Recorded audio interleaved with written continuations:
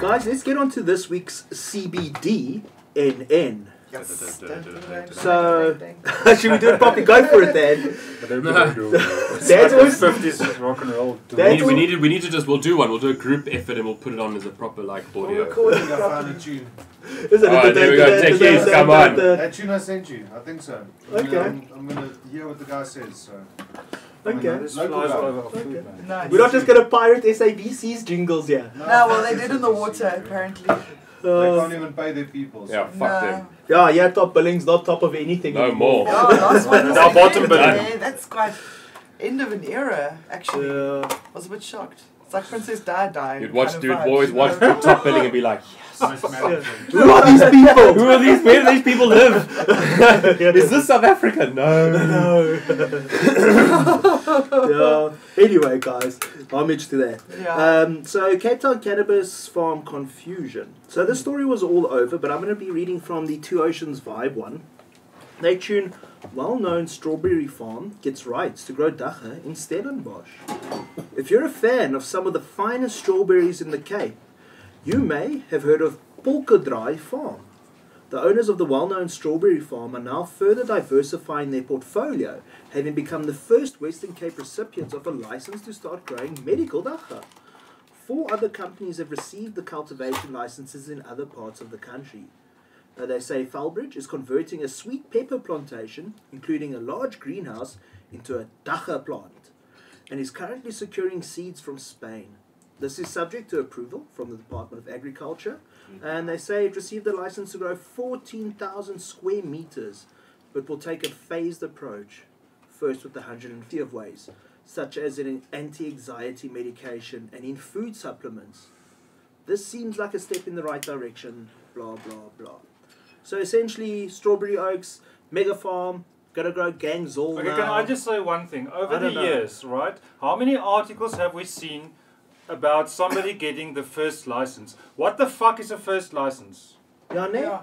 How many more firsts are there going to be? Yeah, That's another all boring. 50, All another first. 70. Like, how sad are you if you just have Yeah. to be the first at something? Because this is even the first in Cape Town. Because there's that other one that's Yeah. there in Atlantis or Yeah. somewhere, or Atlanta or whatever. Exactly. So this isn't even in the first in Cape Town. But it's like everything that's dagga. What must the poor public think? You know, it's Yeah. a big joke. It is a joke. Yeah. Your license. But Take your kudos to license and- SAHPRA for coming out and correcting the situation. That's the first time I would ever say kudos to SAHPRA. So what happened there, Joe? Well, firstly, who's SAHPRA? South, Af- uh, South African Health Practitioners Regulation Association, whatever. whatever. Authority. Yeah, And you say they came down on these oaks. Well, they released a statement uh, saying, "Excuse me, hi, like some facts are, are needed to be explained here. No licenses." Have Did the been article say it was the first commercial license? Or I can't remember. All I know is SAHPRA came out and said, uh, "No, it's Mhm. not right. Actually, there are no licenses. There are no licenses. There are zero licenses." so they say. So um, we put the links in the bottom, guys. Go check them out at your discretion later on or at your leisure. Uh, but I have got the link here for this SAHPRA rebuke or rightening as it went down. SAHPRA clears the air on cannabis cultivation commercial licenses. Uh, SA Health Products Authority's Nomina Amarji says the licenses issues are for the licenses issued are for medicinal use purposes only. Some of the quotes are the authorization was issued to them for the cultivation of cannabis solely for the purpose of medicinal use. It does not speak to the commercial cultivation for non medicinal use or for the purposes of research. Uh, the sites have met the subscribed recommended or the subscriptions recommended in the guidelines that have been implemented and published. And basically, if you go read the separate thing, they were they were very bullet point Yeah. about we, we said it's not for sale, it's not going to market because it sounds like these these oaks went on radio and they said we got the license. Next thing you know, on Long Street there's going to be their gangs all. You know, we're going to put Emporium out of business. We're going to put Little Amsterdam out of business. We're going to do it all. And then SAHPRA said, whoa, whoa, whoa, whoa, whoa, whoa. Firstly, this is more of a research license. Mhm. So you can't really be selling any of this. Yeah. So I don't know. Do you think these oaks are only realizing now that that they can only do this That little they just stuff? spent a lot of money on nothing. You okay, think? so now if you're growing for research, okay, now this strawberry farm, for example, they're going to put all this money into their grow or whatever, and then they're going to end up with all this weed. And now they're going to take this dagga and they're going to just donate it to research after they CSIR, invested apparently hundreds of to thousands of CSIR. rands. Mm-hmm. It Millions. goes to CSIR. So CS they've got to pay for what growing the weed, which includes all the labor and all of that stuff, nutes, like Yeah. Harvesting. CSIR need- needs So you get it. some funding if you grow. They need them. They need the, the They the biomass proof. material in Mm. order to be able to put their research out and do it. They can't fuck it up as they can't fuck it up. They need to make sure it's grown properly so they can do their research. I think so they can put out the whatever the hell they need to do and put out Yeah. papers to say, look, it's been researched. We've, This is how you this is grow. how you grow it. We've seen Yeah. people that have grown. They've done the grows because we Yeah. told them to. Yeah. Now let the people grow it for commercial use, And then they and will then get it. and then Yeah. they'll get it. I think you have to. They're gonna they're gonna make They have to everyone do do a a test research grow as Yeah. To do a the first Yeah, grow. and you have track to. that whole process from PIP to Yeah. extract. Yes, and Yeah. you have to give that all of that information to them. Yes. Mm. And if you do that correctly, You I think they're it. going to turn around and say, right, So then you'll get it. now Yeah. you can do for commercial purposes as you. Pl- I'm not saying that's how they do it. Fuck, I'm not I on inside at all. I, I'm thinking But speculation. that would Yeah. make sense. It's logical. it is. But It does make sense because the government's like, if we leave it up to them to do their own research, No, we are fucked. happen. Rather, we We've just have the people that have some kind of knowledge do the grow, do the research, Can afford it. fucking hand it, that can, that can afford it, that is thinking long term and oh, not well, who does the not best the next research? harvest's cash in. Because they're going to break the Who does the for all research? rest, No, who does know? the best research at the moment? The We're craft all growers. Exactly. The people that make their own Yes. Oils at home. But now, if they're doing research, they should be for given some sort of like guidelines to say, well, right, if you want to do research, we've got certain things we need to be researched, or you apply for whatever it is. All everyone grades And as long as you meet the criteria of proper research, which is there's certain things you have to follow. It's Yeah. research is research. There's no like different types. It, it- you do research and you get the, this kind of dumb information.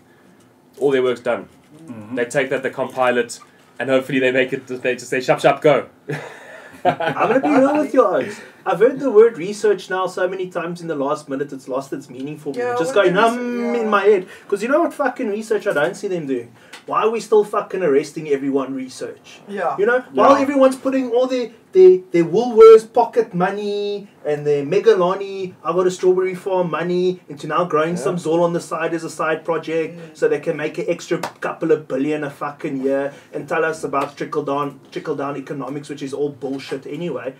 Where's the research saying why are we still arresting these people?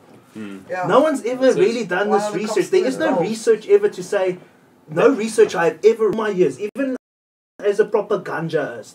In all my years, I've never read a scientific study that ended with these words, we should arrest all these motherfuckers for smoking it. They think the research they're getting for that kind of information is from the arrests. They're saying there's our research. They're That's all not fucking drug research, users. That, that's exactly it. It's that that's not the research. And if they think that's Well, it, they, they've never. fucked. They can never give a concrete reason for arresting somebody for a plant. There is no. It's a nonsensical act. It It- shouldn't It's happen. nonsensical that it's being classed as a hmm. dependence producing drug. Yep. As soon as it's taken out of that classing, then they can't they, they can't arrest us anymore. Then Sangomas can actually Well, until that fucking moment, the dispense government is at fault. The government the is guilty. They've got blood on their hands until the law changes. Uh, causing substance. Yes. Uh, but you know what's all going to happen here? Like this one oak says, he's very right. He says all this weed's just going to end up on the Cape Town street. Because you know what's going to happen now? You're going to go to your friendly neighborhood dealer, you call him everything, because he's got everything there. Yeah. And he's going to have his heroin, he's going to have your molly, he's going to have your shroomage, he's going to have your weed, and he's going to have strawberry skillock. Yeah. You're going to know why, eh? That's it. Yeah, I don't know. eh? right. I don't know. So yeah, it goes on. Another Goes on first there. license Yeah. in Cape Town. Fuck, I don't know, guys. I don't know what to believe anymore. The But it minute I seems hear the the wheels word are the turning. first, I don't believe it because Yeah. you know there's no more firsts. Yeah.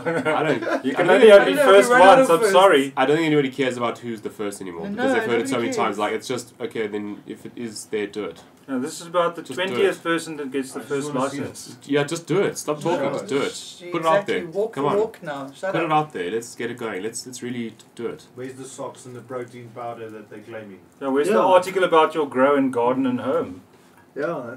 Why don't I see your grow on fucking top billing? Yeah. Nah. Yeah. Well, we can't because- anymore. Why is Stop Billing closed down? Because everybody's Because, watching the Hot Box no. show.